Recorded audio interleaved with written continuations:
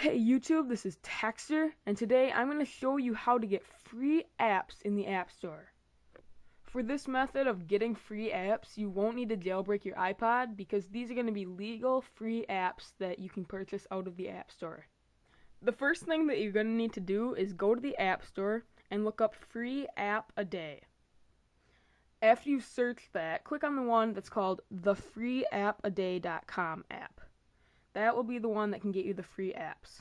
Let's just go into it and see how to get the free apps. On the home screen of the app, you have five options. You can either go to today's free app, featured free apps, featured paid apps, the free app a day Hall of Fame, or my wish. Right now, we're going to go into today's free app. In today's free apps, you have a list of five apps that are free for today and today only. If you want one of these apps, all you have to do is just hit it.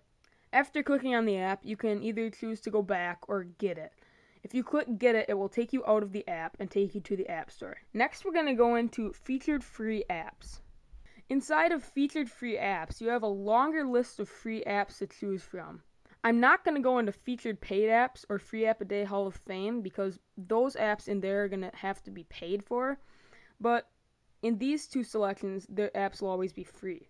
Next, I'm going to go into My Wish. My Wish is a cool feature because you just type in the name of the app that you want to be free next. So let's just type in Tap Tap Revenge. You just hit submit and wish added tap tap revenge and then they will take all of these submissions into consideration for picking their next free app for the day. Thanks for watching, guys, and now you know how to get your free apps in the App Store.